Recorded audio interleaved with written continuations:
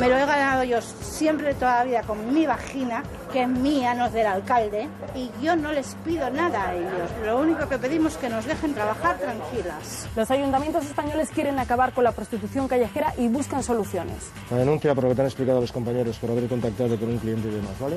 En Madrid han instalado cámaras de videovigilancia en la calle Montera, pero ¿sirve de algo? ¿Es legal? Las cámaras es asustar a un gran león con un lapicero. Barcelona lleva dos años multando a las prostitutas y a sus clientes, pero ha disminuido la prostitución.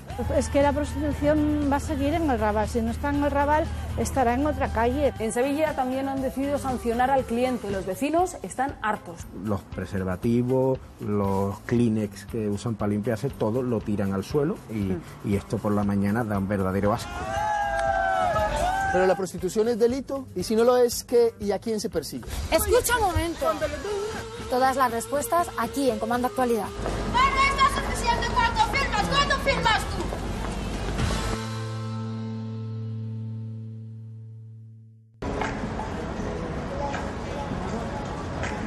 Para acabar con la inseguridad, con el tráfico de drogas y con la prostitución, aquí en la calle Montera se han instalado hasta 30 cámaras de videovigilancia en el mes de enero. ¿Qué ocurre? Que con esas imágenes se persigue el proxeneta, pero también se ahuyenta a gran parte de los clientes que vienen a esta zona. No sé si funciona o si no funcionan. La cámara dice que no funciona. O si no, asómate ahí a esa y mira a ver si la vuelta. Pero bueno, mira ahí las tienes clandestinas, ¿eh? ahí están. ¿Os traen problemas las chicas? A mí no, han tenido problemas, pero no ha habido problemas. Las mujeres te dijeron que me iban a matar. Amenazas así. No fiaros porque tienen un mala leche. Esa que viene con las manos en la cazadora. Esa ¿Pero por dónde viene? Ahí. ¿Y ellas prostitutas? Sí, sí, sí, sí, sí. Yo las conozco. Mira. ¿Y los guardias las Mira, ¿ves? Mira, mira. Ahí ya están haciendo... Ahí el change. ¿Ves? Míralos. Ya, ¿Y se van. juntos? Claro, ya. En España hay muchos prostíbulos como esto, por eso, porque no hay un orden, no hay una ley que regularice. Eso ¿Para qué es- es un prostíbulo la calle en sí? Claro, bueno, ya lo veis, donde se hacen las citas, lo acabáis de ver. Unas 100 prostitutas trabajan en apenas 30 metros de acera. Se organiza normalmente según sus países de origen, así que en este lado, el de la izquierda, si venimos desde la Puerta del Sol, trabajarían mujeres que provienen del este. Hola, ¿podemos hablar con vosotras? ¿Haceros alguna pregunta? No, ¿por qué? ¿Puedo hablar contigo? Hola, ¿podemos hablar contigo un segundito? Un momentito No solo. que me atrapas. No, puedes hablar con nosotros un segundo.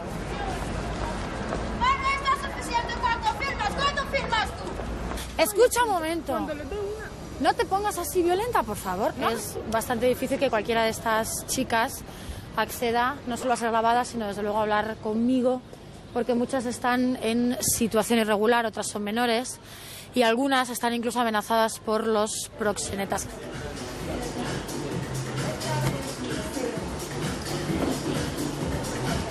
¿Cómo es trabajar en Montera? Mal, porque no es trabajo. ¿Te gustaría hacer otra cosa? Es otra que sé cómo puedo hacer, solamente tengo el DNI. ¿Y cuánto estás sacando? Pues al mes, y es el mes bueno, puedes sacar y 3.000 y 4.000. Hola, ¿qué tal, bebé? Cariño, vamos a jugar, mi amor. Ven, jugamos un poquito. ¿A qué juega? A lo que haga falta. ¿Cuánto me cobra? Vale 25, mi amor. ¿Y si me das tu teléfono para mañana? Sí, te dejo mi número de teléfono. ¿Y ahora por qué no puedes? ¿Tú me dejas tu número? Sí, te dejo mi número. Y vas a donde yo te diga. No, pero es que eh, ese es el problema, que yo solo trabajo acá nomás. Aquí estoy luchando por mis hijos, por mi familia, por mi vida, por ser yo alguien, o por lo menos darle a mis hijos lo que no he sido yo. ¿Tú prefieres trabajar en la calle? Prefiero trabajar en la calle, que, que esto de trabajar en club y en estos, en estos garitos que hay por ahí, eso, pues a uno le quitan la mitad de dinero y no es lo mismo trabajar en la calle que trabajar ahí. En los clubs hay más locos, en los clubs hay más delincuentes y en los clubs hay más droga. ¿Y has presenciado agresiones por la noche? ¿Alguna compañera de algún cliente? Sí, un montón, Violencia. un montón, casi todos los días. Hay mucha gente loca, mucha gente rara, de día y de noche es igual, da lo mismo. La prostitución en Sevilla no tiene nada que ver con la que encontramos en la calle Montera de Madrid. Aquí las prostitutas son mucho más discretas y menos visibles. En esta ciudad, el ayuntamiento ha decidido multar a los clientes.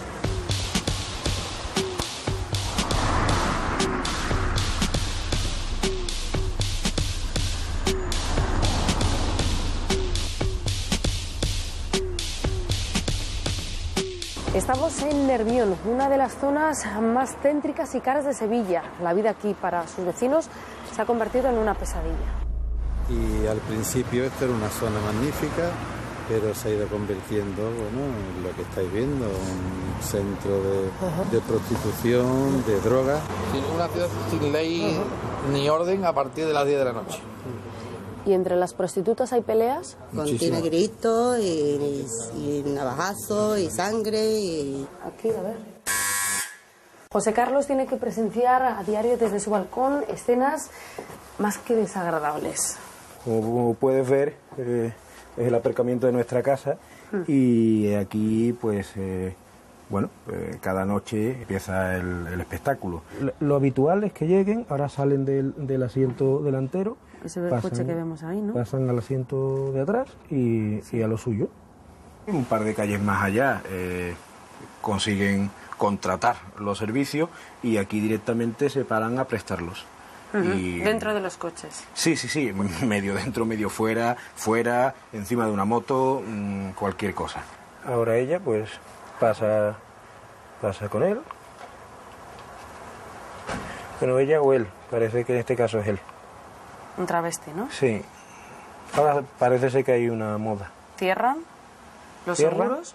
Ponen su seguro del coche y ala, a, su, a sus quehaceres. A veces hay problemas más desagradables cuando un cliente eh, se da cuenta que lo que pensaba que era una mujer es un travesti y se encuentra con la sorpresa y se monta el espectáculo aquí en medio. ¿Esto es otro? Sí, parece ser. Madre mía. doble sesión.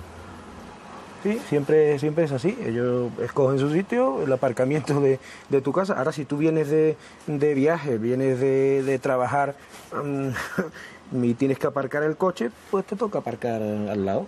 Al lado de un vehículo en el que se está practicando sexo. Sí, sí, de, en todas sus modalidades, tranquilamente. Gente incluso que viene con el vehículo de empresa y con el uniforme de, de- de trabajar. Desagradable, ¿no?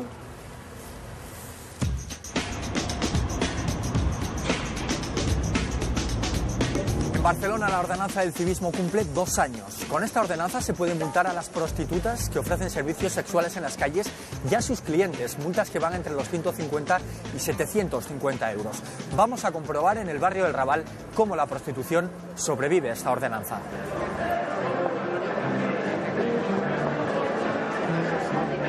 Clarisa es la portavoz de la Asociación Genera. Hola Clarisa, ¿qué tal? ¿Cómo Hola, estás? ¿qué tal? Buenos ¿Cómo días. Eh, trabajáis todos los días con las mujeres. ¿Qué ha pasado con ellas desde que existe esta ordenanza hace dos años? ¿En qué lo han notado ellas? Lo que provocó en un principio era que las mujeres tenían que incluso buscar más dinero para intentar pagar esas multas. Con lo cual era absolutamente absurdo. De alguna manera el Estado se había convertido en el proxeneta ¿eh? por encima eh, junto con la policía. No tiene sentido. Blanca trabaja, de, es decir, trabaja y trabaja. ¿Quién le puede venir a decir a ella que lo que hace no es un trabajo? Es decir, tiene sus horarios, tiene su organización, gana su dinero, mantiene a su familia y lo que le queda. ¿Cuántos años llevas trabajando? Yo llevo desde el año 1978. Blanca, ¿qué opinas tú de lo de la ordenanza? Pues que castiga al, al- al más débil, al más pobre. A vosotras, a las mujeres, os ha perjudicado mucho. A nosotras, pues, el 100%. Las multas estas, que estas multas no son legales, ni para nosotras ni para los clientes. ¿Te ha multado alguna vez? No, No. no, y esp- espero que no por, por la cuenta que les trae, vamos, porque a ellos no les importa. Ni ellos me dan nada, ni yo tampoco les pido nada a ellos, ni al ayuntamiento ni al alcalde. Ojo, yo al alcalde jamás en la vida le he pedido nada. Y llevo desde 1978. Me lo he ganado yo siempre toda la vida con mi vagina, que es mía, no es del alcalde. ¿eh? Y con mi vagina hago yo lo que quiero. ¿eh? Y yo no les pido nada a ellos. Lo único que pedimos es que nos dejen trabajar tranquilas. Se calcula que cada año se gastan aproximadamente 1.800 millones de euros en el consumo de prostitución. Pero ¿la prostitución es un negocio legal o ilegal? Buenos días. Buenos días. Está, muchas gracias por recibirnos. La prostitución no es delito en España. Es decir, no se castiga la prostitución. El Código Penal castiga unas conductas que vienen a obligar a una persona a prostituirse en contra de su voluntad o que vienen a lucrarse con una prostitución de una persona. ¿Qué pasa? Eh, ¿Hay desprotección o, o no se atreven a denunciar? ¿Cuál es la situación? Es una de las grandes lacras de esta, de esta, de esta actividad delictiva y es efectivamente eh, la, la presión, la coacción que ejercen los explotadores sobre las mujeres para que éstas se sientan cohibidas, se sientan atemorizadas y no se atrevan a denunciar. de videovigilancia? Pues mira, los primeros días pensaba que estaba mal, pero en realidad tienen razón. Mientras más cámaras haya, mucho mejor, porque así cuando hay algo o pasa algo, aunque se vayan los que, los que lo han hecho, queda grabado y ya para otro día ya saben quiénes son y eso. ¿Has tenido problemas con los vecinos? Sí, un montón, pero no con todos. Mm, Hay unos muy malos y hay otros muy buenos. Eso. Que es un vecino muy malo. Ojo, los que nos lanzan agua por arriba, agua con cloro, con lejía y, y detergente. A mí me- cuando me preguntan yo digo que vivo en una calle del amor. ¿Cómo estáis los vecinos? Aquí en primera línea. en primera línea, pues viendo el espectáculo este tan bochornoso y vamos. Mira, ves, allí, bueno, y pobre de ti que la grabes, porque tiene su intimidad, los demás no tenemos intimidad. Pilar, ¿qué piensas tú de las cámaras? Pues que eh, las cámaras es asustar a un gran león con un lapicero.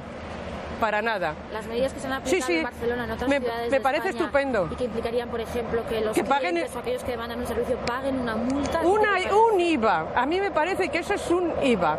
Y el que consuma ese producto, que pague el IVA. A mí eso me parece extraordinario. ¿Qué van a hacer los policías? Si la prostitución es, es- es legal. Aquí tiene que ser el gobierno, no los vecinos de la calle de la Montera, quien solucionemos esto, porque no solo en Madrid, si es en muchos más sitios. Aquí no pierdes detalles. Aquí ¿Eh? vigilamos todo. ¿eh? Hemos escuchado muchas cosas de los vecinos. Incluso algunos parece se quejan varias prostitutas que podrían haberles arrojado lejía. Ha habido gente que les ha hecho, pues digamos, estas agresiones. Y la realidad es que eh, las que están aquí, pues están a lo suyo, pero yo creo que no molestan demasiado, francamente. Hola. No, es un minuto solo. ¿Cuántos años llevas viviendo aquí, Maribel? 36, creo, más o menos, unos 36. ¿Ha cambiado mucho la calle en todo este tiempo, en estos Bastante. 30 años que tú la conoces? Ha cambiado, ha cambiado muchísimo. Hemos pasado por todo tipo de, de situaciones, aunque siempre, claro, con el tema de la prostitución siempre en medio, evidentemente. Yo no siento miedo, lo que siento es que me impacta mucho una situación que parece se va desbordando, o sea que si no, no ponen remedio esto, es- esto se desborda, es más, más, más. Una parte muy importante de la ordenanza es la Guardia Urbana de Barcelona. Ellos son los encargados de que se cumpla, de que se lleve a cabo. Vamos a ver en qué consiste su trabajo.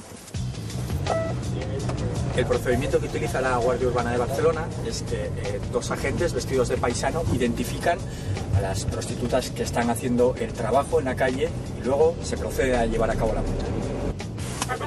Espera. Hemos parado muy cerca de la calle San Ramón, que es una de las calles en el barrio del Raval donde más actividad de prostitución hay cada día.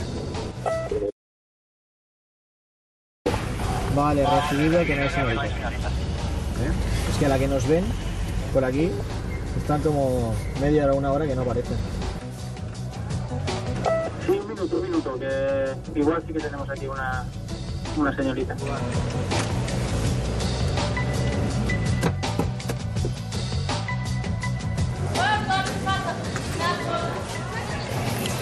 Tu pasaporte, ¿verdad? Bueno, Florina, es por lo que los compañeros te han explicado hace un rato, ¿vale? Por haber contactado y demás. Vale, tranquila. Florina, por favor, no te vayas tan lejos. Quédate aquí. ¿Quieres firmar la denuncia? Ya sabes que no es obligatorio, que no quieras, ¿no? Muy bien. Te doy la copia, Florina. La denuncia por lo que te han explicado los compañeros, por haber contactado con un cliente y demás, ¿vale? Señores, buenas tardes. No te quedes en la calle, por favor. Los agentes han recibido una llamada de otros agentes que estaban vestidos de paisano en la calle San Ramón, porque habían visto a dos mujeres ejerciendo la prostitución en esta calle. Después han llegado y han procedido a multarlas, como habéis visto. Acabamos de recibir otra llamada diciendo que vayamos hacia la calle San Rafael. En ella estamos entrando ahora, vamos a ver qué es lo que nos encontramos. Es un trámite administrativo, ¿de acuerdo? Ya han hablado los de paisano contigo y te han explicado cómo es, ¿vale? ¿Cuánto dices que llevas aquí? Yo 10 días, eh, 10 años en España. Diez años en España. ¿Dónde estabas antes? Estoy en Valencia. ¿Trabajabas allí igual? No, trabajaba en fábrica. En fábrica. firmar esto? ¿Y eso me explicas? Esto es una denuncia, ¿de acuerdo? Por solicitar servicios sexuales en la vía pública. Si quieres firmar, firma. Si no, no. No es obligatorio firmar. Venga, de acuerdo. No se queda aquí, ¿vale? ¿No? ¿De acuerdo? Venga.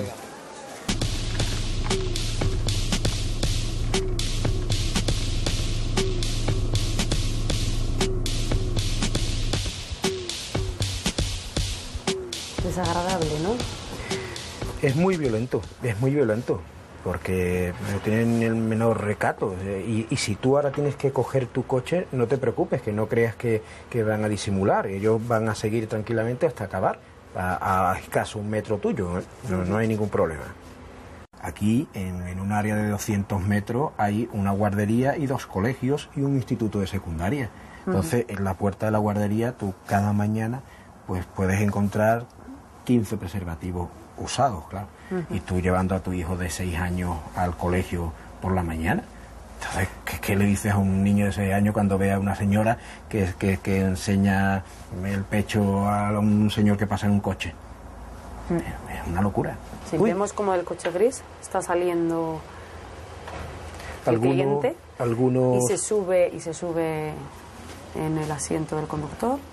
recogen sus cosas eh, tranquilamente, ¿eh? sale de su coche, algunas se ven ya vestidas, otras medio vestir.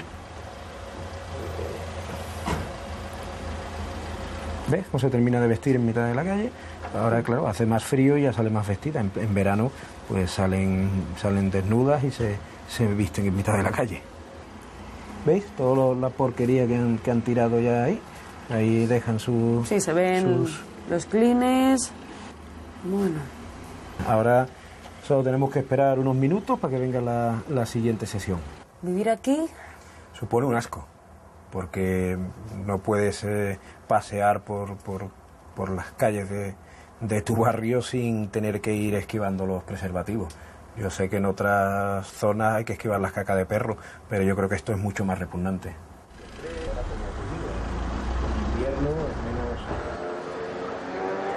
Nos llama Clarisa de la Asociación Genera, una asociación que aquí en el barrio del Raval trabaja con las prostitutas, porque nos quiere contar algo importante. Gracias.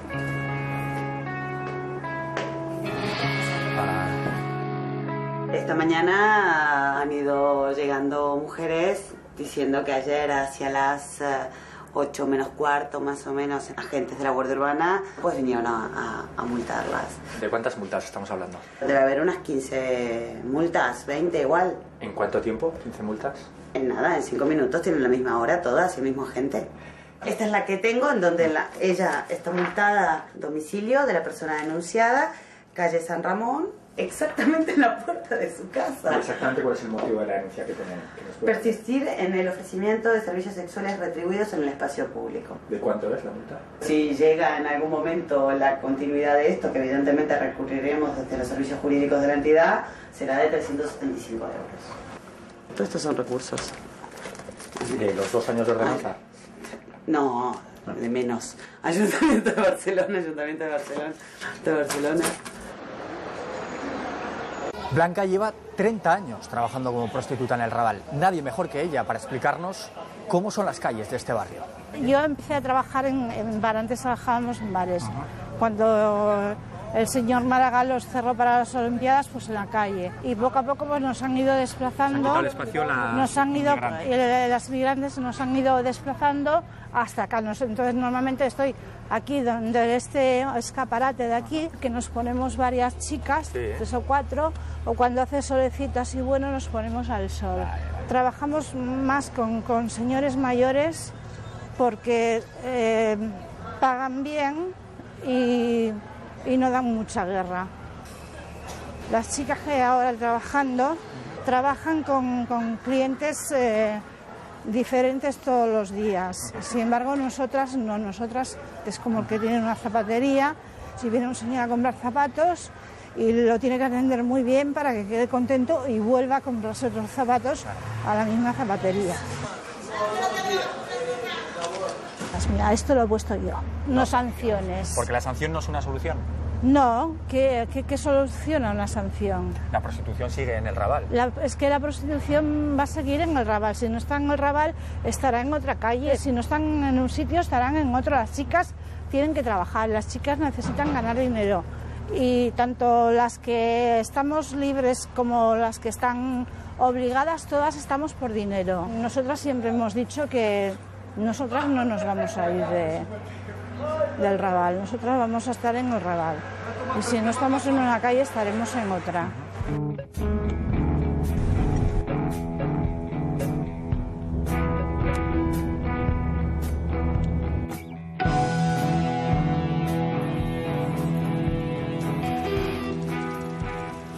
Esto va a empezar a funcionar ahora, esto es prácticamente lo que es la sala del club. ¿Cuántas mujeres, cuántas chicas trabajan aquí actualmente? Bueno, vamos a ver, nosotros no empleamos la palabra trabajar porque en realidad aquí están hospedadas, trabajan para ellas, no son empleadas del club, sino son huéspedes del club y ejercen la prostitución en las habitaciones que tienen alquiladas y entonces trabajan para ellas. Y en función del momento, pues puede haber momentos que hay 70, 80 mujeres y otros momentos que hay más clientela, porque hay una feria, un campeonato de motociclismo, eh, la Copa de América y puede haber hasta 100 mujeres, a 120 mujeres. En una noche aproximadamente, ¿cuántos clientes pueden acudir a- al club? En un cálculo así. Pues de los 200 que acuden en una situación de laborable a los 700 o 1000 que pueden acudir en un fin de semana. Y teniendo en cuenta experiencia, ese conocimiento, ¿por qué cree que hay tanta demanda de, de prostitución? en- en- Entrar a un club de estos con derecho a consumición son 10 euros y subir a una habitación con una señorita cuesta 60 euros media hora. Es una forma más de diversión o de distracción y se siente atraída por ella. Entonces aquí hay una tienda para ellas, hay peluquería arriba, hay gimnasio, hay un montón de cosas. Esto es el escenario, ahí están los camerinos y aquí hay una habitación que es una habitación para minusválidos. Se ha arbitrado una habitación aquí, en estos momentos está cerrada, pero bueno, si viene algún minusválido, esta es una habitación para mantener relaciones sexuales con las mujeres, para minusválidos para que no suban las, las escaleras. ¿Cuáles son los argumentos que tiene Anela eh, para mm, promover o para apoyar la regulación frente a otras opciones en la prostitución? o existe y se regula o se prohíbe. Si no se prohíbe, lo que no se puede permitir es que haya 300.000 personas en el siglo XXI sin derechos ni obligaciones. O si no se prohíbe, pues hay que hacer un ejercicio de sinceridad y hay que regularla y normalizarla. Si usted tuviera una hija y un día le dice, cuando sea mayor, me voy a dedicar a esto, eh, ¿cómo lo tomaría? En un debate de televisión me decía, ¿a usted le gustaría que su hija eh, fuera prostituta? Pues no, pero tampoco me gustaría que fuera representante de una ONG feminista.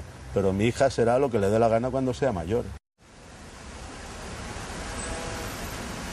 Bueno, mira. Hola.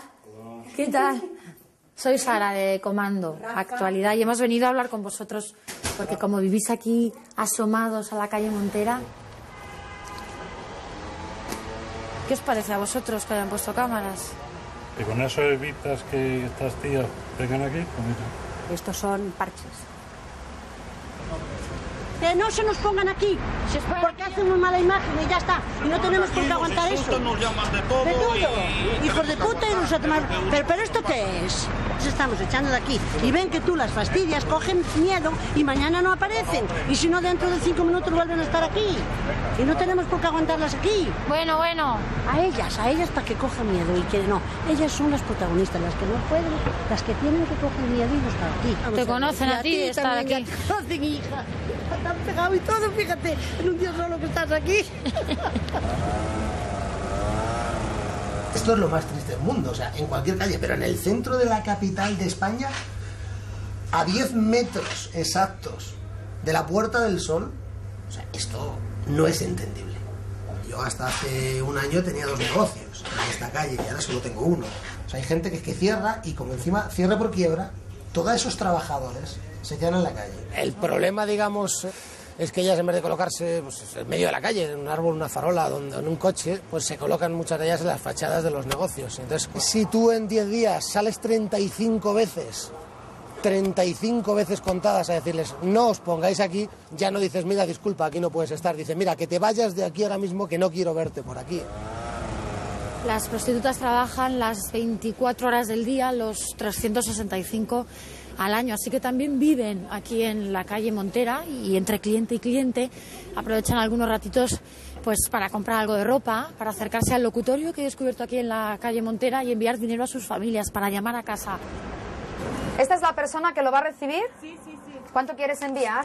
Por supuesto, ya nos dan, nos dan mucho trabajo, porque son las que vienen a llamar por teléfono y, y hacer recargas y hacer envíos, entonces para nosotros es un cliente, es un cliente más. ¿Que luego nos perjudica por otro lado? Pues también. ¿Has visto en alguna ocasión que sus parejas, que su novio, que alguna acompañante de ellas pueda entrar aquí en el locutorio y estar un poco observándolas desde aquí, desde el local? Sí, hay algunas que, que entran directamente con ellos y tristemente pues en alguna ocasión hemos visto que las han sacado de la cabina a empujones o... Ellos las han sacado de la cabina para que vayan a la calle y sigan trabajando. En Sevilla la prostitución se va trasladando poco a poco hacia los polígonos industriales, tal y como ocurre en... ¿Habláis español un poquito? Sí. A ver, te cuento. eh, nosotros estamos haciendo un reportaje, Ah, ¿vale? nosotros no quieres. ¿No quieres? Serían cinco minutos. ¿Tú cuántos años tienes? 22. ¿Y llevas prostituyéndote cuánto tiempo? Me voy a cumplir cuatro años, eh, ocho meses. O sea, desde los 18, ¿no? Porque antes mi país me trabajaba peluquería. Me pensaba que aquí está muy fácil para vivir. ¿Qué es lo mínimo que cobráis? 20 euros. ¿Y con eso qué, qué servicio es? Chameco, sí. ¿Cuántos años? De mayo nueve años. De pequeño, siete años. ¿Tú mandas dinero a tu país? Sí. ¿Cuánto les mandas? Un mes, 100 euros. Y 50 euros para mi niño, 50 euros para mi madre, para la comida. ¿Y cuánto dinero más o menos consigues en una noche? Y si trabaja y hay mucha gente, se puede ganar 50. 50 euros. Para cuando chupa mucho, se puede ganar 30, 20 o 50. Pero mm, todo día no, todo día se puede no ganar nada. Se puede ganar 20, se puede ganar solo 10. ¿sabes? Así. Aquí donde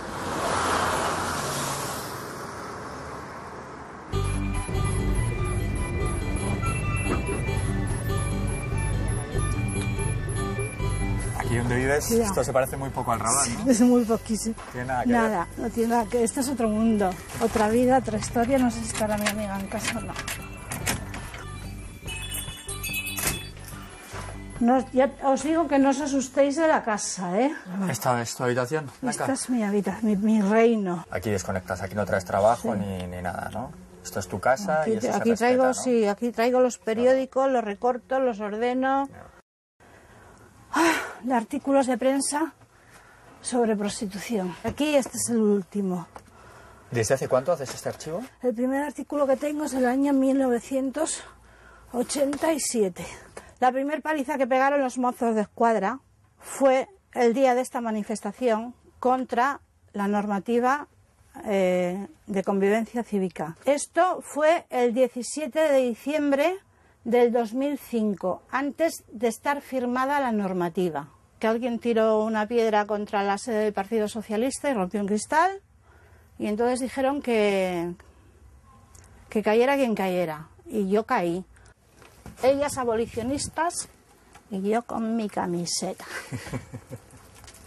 No es cuestión de orgullo, es cuestión de, de, de- de subsistencia.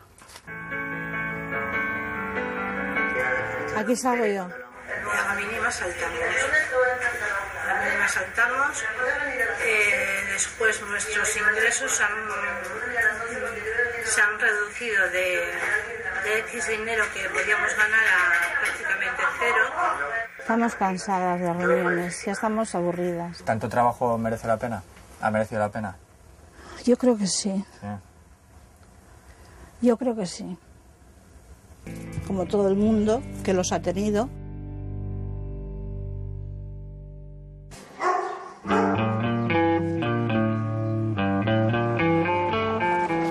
La Alameda ha sido el lugar donde se ha concentrado la prostitución de Sevilla durante años. Ahora solo quedan prostitutas en edad de jubilarse. Perdona, ¿esta calle cuál es? Relator. Ah, Relator. Vale, vale, gracias.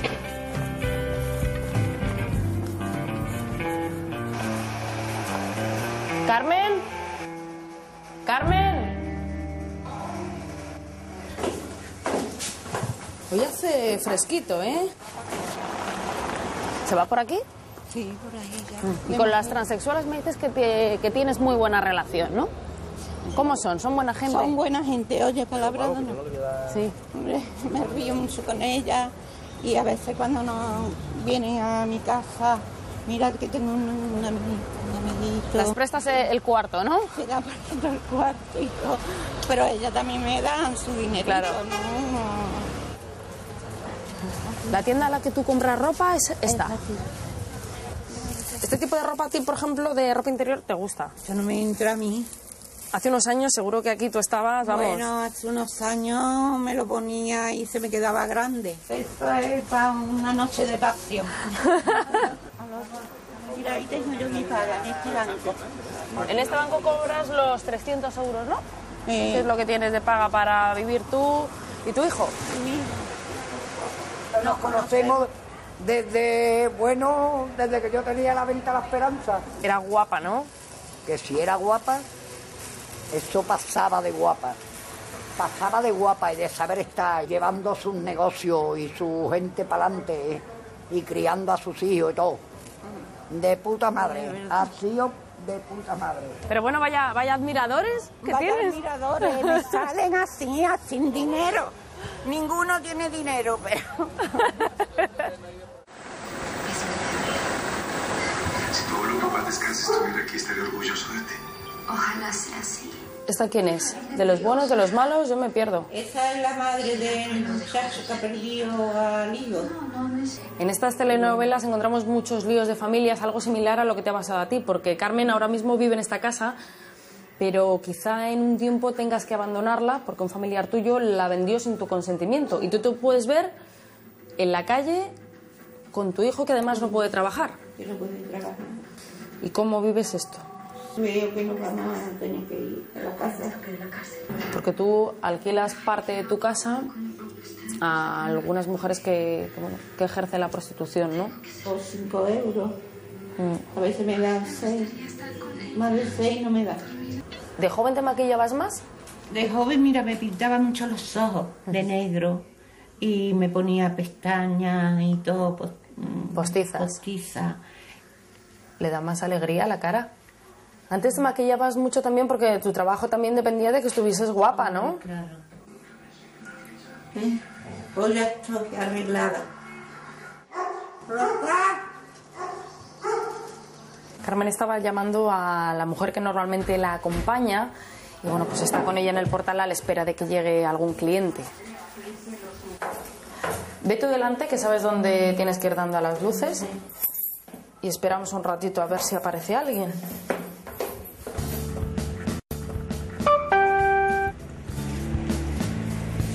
Aunque ejercer la prostitución no es ilegal en España, existe un gran movimiento proabolicionista. Eh, Gemma, buenos días. Hola, buenos Soy Henry. Gracias. ¿Por qué la abolición? ¿Por qué la abolición como propuesta? No estoy por, por legalizar la prostitución ni por considerarla un trabajo. ¿Por qué eh, no considerarlo como un trabajo cualquiera? El porcentaje de mujeres violadas, pegadas, am, maltratadas en prostitución es altísimo, incluso en los países donde eso está regulado. No puede ser que los varones continúen pensando que tienen todo el derecho a comprar sexo sin mm, plantearse en ningún momento a quién están comprando este sexo, si realmente se lo están comprando a una mujer libre y que parte de una situación de igualdad con ellos o están realmente abusando de una mujer en situación de vulnerabilidad.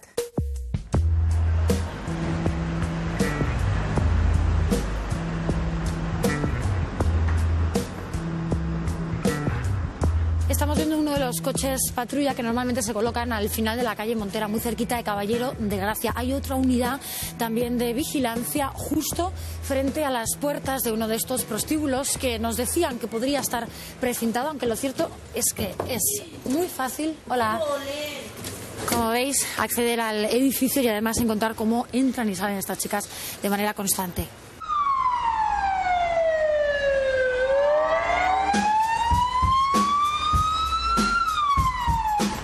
Como estamos viendo, hay cuatro agentes de policía municipal y hay aquí también una furgoneta de policía nacional. Hay bastante vigilancia. Pues estamos esperando a que nos traiga la documentación que nos ha pedido un agente de Policía Nacional, que nos ha visto aquí grabando y bueno, nos dicen los agentes que es una operación rutinaria el pedirnos la documentación y comprobar qué hacemos aquí, pero ¿qué pasa con esos dos inmuebles, esos dos prostíbulos, calle Jardines, calle Caballero de Gracia, que parece que están precintados, pero la realidad es que entran y salen chicas a cualquier hora del día y de manera constante, ¿no?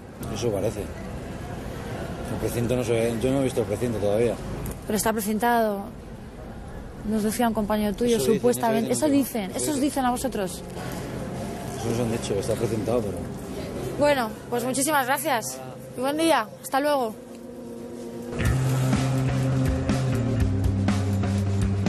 Aquí te lo voy a pegar. Y te voy a romper la cámara. Y es necesario que pago hombres para pegar a ti. Voy a pagar. Te lo prometo por la sangre de mi sobrino tonta. A medida que oscurece, se acerca también la hora punta en este negocio del sexo callejero. Ahí quedan esas cámaras vigilantes las 24 horas, pero son la solución definitiva a este problema. ¿Y tú qué firmas? Yo tengo derecho a esto.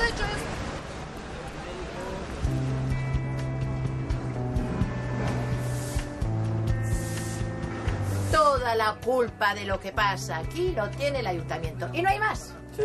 Y se acabó. ¿Pero por qué? Porque el ayuntamiento lo primero que hizo fue cerrar los muebles. ¿Qué hicieron al cerrar los muebles? La gente tirarse a la calle. Y allí estaban controladas todas las mujeres. A ver, a las chicas nunca, nunca, nunca han dado problema. Porque la gente Sí, vivimos de las chicas. Y no hay más. A este comercio le viene bien que haya aquí una chica. A mí me encanta. Todas las chicas tendrían que estar por aquí. Y se portan bien y, Y se todo. portan perfectamente. Son correctas. Son correctas. Vamos, que el problema de este barrio no es la prostitución. No, la prostitución. No. Es todo lo que ha entrado ahora últimamente. Que estamos aquí minados de todo. Mire, ahora me invito. Le van a quitar a la señora. Mire, este bolso, esto se le van a llevar ahora mismo. ¿Ah, sí? Por la cara. Hombre, por favor, un respeto. Que estamos aquí en persona. Claro. No estamos eh, en un desierto de Sáhara ni por ahí. O sea, que suelen robar mucho entonces por Sí, aquí. roban, Sí. Yo prefiero la vida de antes que teníamos, porque aquí la prostitución eran señoras, no lo que hay hoy. Porque lo que hay hoy, nada más que son gentuza, que le quitan la cartera a los hombres como le da la gana. Pero en el Raval también hay mucho comercio inmigrante, fundamentalmente pakistaníes. Vamos a ver qué opinan ellos también. Buenos días. Buenos días. Eh, tu comercio está aquí justo al lado de la calle San Ramón y muy cerquita de Robadores. Aquí hay mucha prostitución, ya lo hemos visto. ¿Qué opinas tú que tienes un comercio aquí? ¿Qué te parece la prostitución en la calle? Pues eso no, no va bien. La señora, cuando gente la quiere comprar algo, la chica la, viene aquí. ¿Se espanta la clientela? Sí. Sí, O sea- todo, siempre, cada día, porque ahí la chica sentada aquí. Mira aquí la señora. Es de señor. Siempre. Se puede. ¿Ese señor está siempre ahí? Sí, sí, sí, siempre, Siempre. siempre, siempre. La mirar la chica, la. Pero no se va con ninguna chica, no le Oh, paga. no, no se puede él. No puede. No puede. Mucha gente mayor. ¿eh? Sí, mayor, mayor. Bueno, solo la quiere la, la. No- Solo mirar. Bueno, María, ¿usted lleva viviendo aquí cuántos años? 43 años. 43 años viviendo en el Raval. Ya tengo cuatro hijos catalanes, dos años de varón. Cuatro catalanes. ¿Pero cuántos hijos tiene usted? 19. 19 hijos. Es del barrio también usted, ¿no? Oye, ¿cómo- ¿Cómo es el barrio? barrio bien. Bien. Está hecho polvo. Está por la prostitución, la delincuencia. ¿Cuál es el problema del La barrio? prostitución no es, es lo de menos. Es lo de menos, no es el Es problema. lo de menos. Han llegado la gente aquí, han levantado el barrio. El barrio del extranjero. El extranjero han montado muchas tiendas, han montado mucho y han dado de comer a muchos pobres. Pero seguimos igual. Seguimos igual. Nueva redada policial contra la prostitución. Es el mundo de hoy. Ah. La conozco 30 años. Bueno, habéis vivido en la misma calle, ¿no? Sí. Es muy buena vecina. Blanca, hasta luego.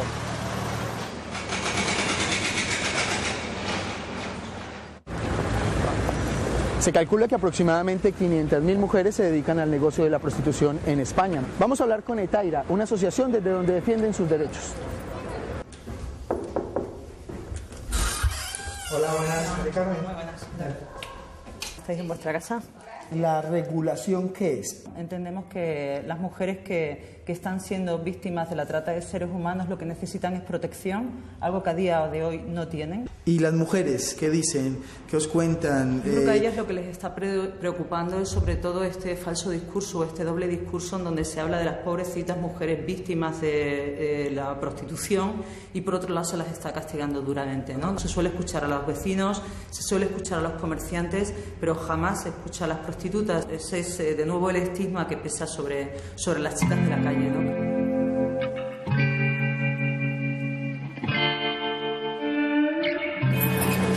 Hoy como ha llovido, mal asunto, ¿no? Mal asunto.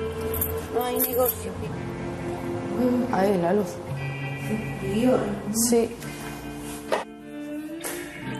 Este es el bajo de tu casa, ¿no? Y tú aquí esperas un poco a que entre algún cliente, a que entre alguna chica. Aquí con la calefacción. Con- de noche sí, de día no, pero de noche sí. ¿Cómo son los hombres que vienen aquí? Los hombres mayores, estos hombres ya de 50, 60, 60 y tanto. Tú sabes que ahora se está hablando de a lo mejor eh, legalizar la prostitución para que las prostitutas a lo mejor pues tengan seguridad social. ¿Tú eso cómo lo ves?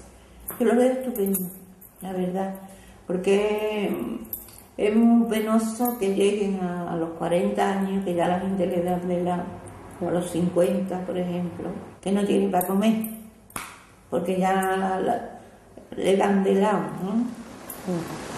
¿Cuánto, pues eso, con las citas, con las chicas que entran, sale como cuánto sacas en un día, más o menos? En un día, ¿no? mira, hoy no he ganado un duro, he ganado una peseta. Ayer, ¿cuánto gané? Ayer gané 12 euros. Antes de ayer, ¿cuánto gané? Qui- 15 euros. ¿Eh? Y así todos los días. Creo que pues deberían de tomar medidas porque la prostitución callejera en según qué sitios, pues a mí tampoco me apetecería que mi madre se asomase al balcón y se encontrase con Según según qué gente. papeleta. Pero bueno, creo que lo deberían de hacer de otra manera. Yo creo que es una exageración, pero como en todo el que hizo la ley hizo la trampa. ¿Y vosotras eh, legalizaríais, por ejemplo, la prostitución? Yo sí, también.